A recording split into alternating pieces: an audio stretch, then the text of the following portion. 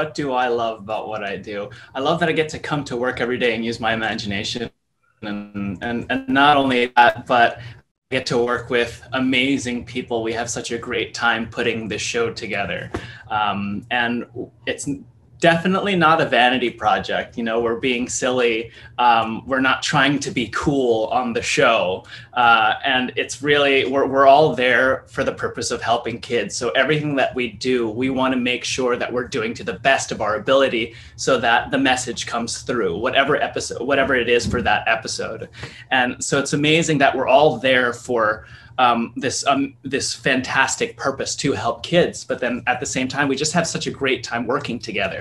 And the fact that I get to use my imagination and be silly and be comfortable being silly with these people, I think is my uh, my favorite part of the job. That and um, meeting parents and kids who watch the show and just see how appreciative they are um, of the work that we're doing. That those those are the two uh, best things about my job. So interesting to think about like you're teaching kids love and value and other things but like you know some kids might not be getting all this attention at home so it's really important to i mean the work you do is important is what i'm trying to say. I appreciate that. I, it's it's it's a really really wonderful thing to be a part of the show because it is true. You know some kids don't aren't able to get this type of attention not because their parents don't love them but because their parents are just busy you know their parents are trying to support a family and be there for them when uh, things matter for like big events. You know i i had the benefit of having my dad stay at home. So when we immigrated to the states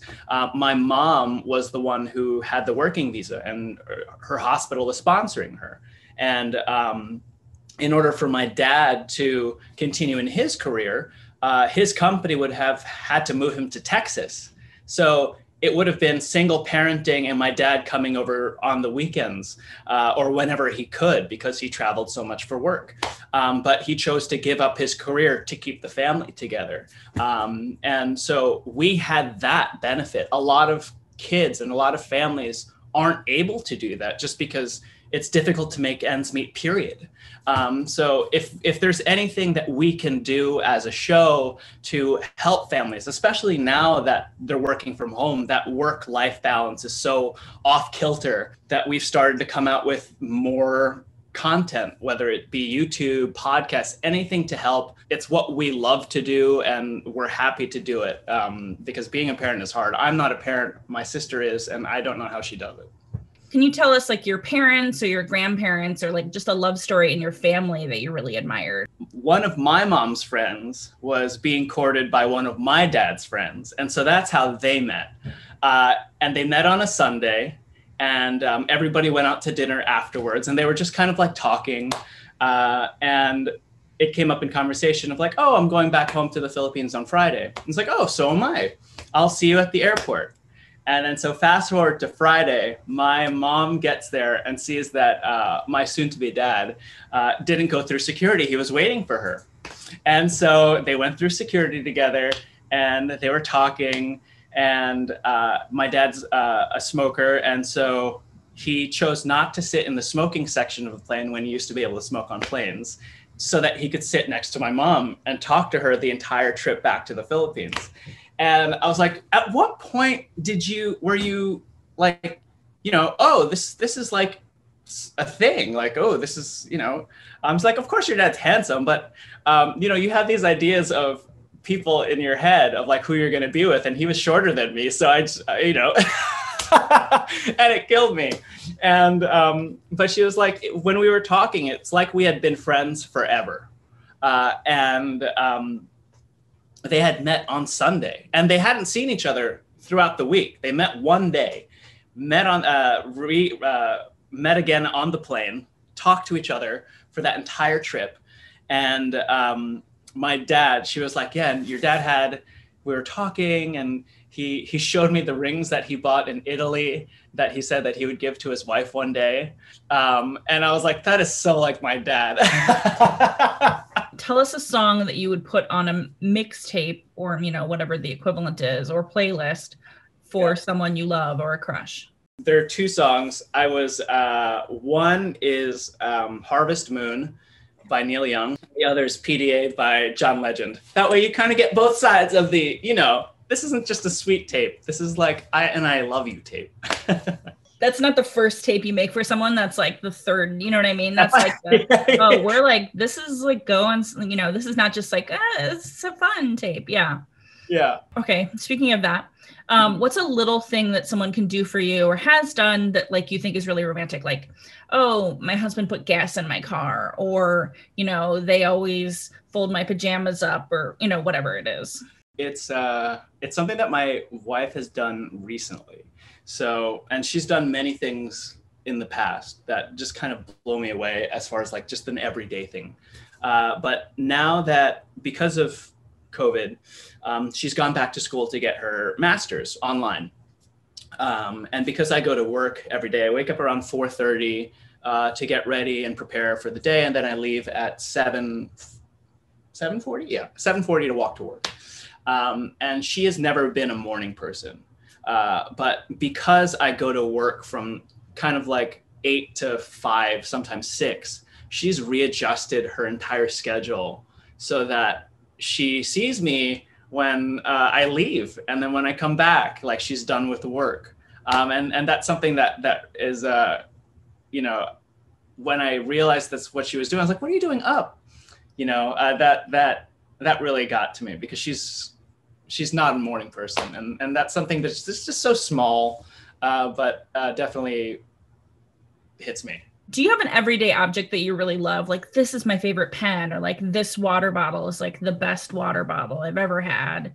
I am uh, a camera guy. I, I love photography uh, and my favorite thing my favorite camera right now is um, it's a fuji camera uh, but it's a fixed lens camera so you can't zoom you can't do anything um, and it's an electronic camera, but it has an optical viewfinder, so that it's like looking through glass. Yeah, there's uh, that is probably my favorite thing right now because I'm I'm always taking pictures of my of Amanda and of our dog Ollie and of where we are together, just to kind of document that. But it's a little bit more purposeful than taking out my phone uh, to take a picture, and so I really value that. And um, it's also waterproof or weather resistant, so I'm not I'm not so precious with it when it's raining or anything like that. You mentioned, you know, your parents being from the Philippines. Have you been to the Philippines? I think the last time we were in the Philippines, I was in high school before my older sister graduated from high school. Um, because that was like maybe possibly the last big family trip we would all go on together. And I think it actually was um, just because of life. Uh, but, and then I was supposed to go to the Philippines this past summer, but then everything with the coronavirus happened. Uh, and so hopefully we'll be able to travel relatively soon uh, within the next couple of years. Then I can bring Amanda. And yeah, yeah, yeah you know, hopefully within the next couple of years. yeah, within the next couple of years. Um, well, here's the question then. What do you love about being Filipino American? Because I know, especially like I was talking to another friend who's Filipino American, um, and I, you know, she posted her picture of Josh on on Instagram, and I was like, oh, I'm gonna talk to him, and she was like, it's such a big deal to have kids see people that could look like them or, or even me as an adult to see people that can look like them. What do you love about being filipino american? I love that especially today that i can just be myself. I love that i i can be myself and, and, and be celebrated for being filipino american um, with our show we're it's not colorblind I, I, I love that when i got out of school um, all I wanted to be was ethnically ambiguous so that I could get parts that were uh, that weren't stereotypical. Um, and in doing so, I, I, kind of denied myself of my identity. Uh, and then when I realized what I was doing, when I became, when I was surrounded by fellow Asian American actors um, who are so proud of their specific culture and um, n- not apologetic about it at all, that's when I realized, oh, you've you've been, you know, you've been colorblind to yourself and you haven't really been honest. And that's when things started to turn around. And, you know, it's an amazing time to be alive because I finally feel like we're beginning to celebrate our individuality in media um, and not just in front of the camera, but behind the camera. And I think this is uh, I think that's probably my favorite thing is you know kids are growing up and I'll get a text and from a friend or a friend of a friend saying my kid pointed to the screen and said he looks like me. It's not something that I often felt or did when I was younger in a way that I um, you know that wasn't a villain or a character or the butt of the joke.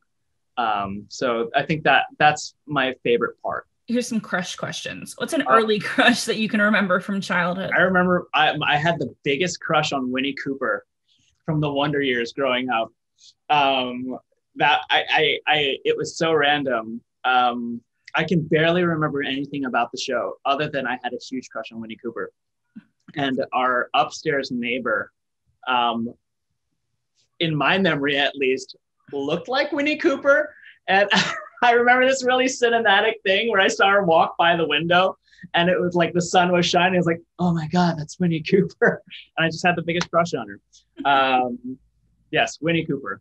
Is there a senior citizen that you have a crush on or, uh, or I don't, like, I, dang? Yeah, I would say I have always had um, a crush uh, and senior citizen is such a strange word now because it's like because it's 2021 everyone takes care of themselves in such a different way than they did when i was a kid. Um, so uh, it was, it's a tie crush between angela bassett and uh, uh, mary steenburgen. Those are really good. Yeah when we were growing up like everyone had those like bubble haircut yeah. like, like the it doesn't look like that anymore. Yeah you're like senior citizen. Yeah. Now it's just like oh no they're just older than i am. Do you have like a bad date story the worst place I'd ever gone on a date was um, it was it was a twofer. So like we went out to dinner.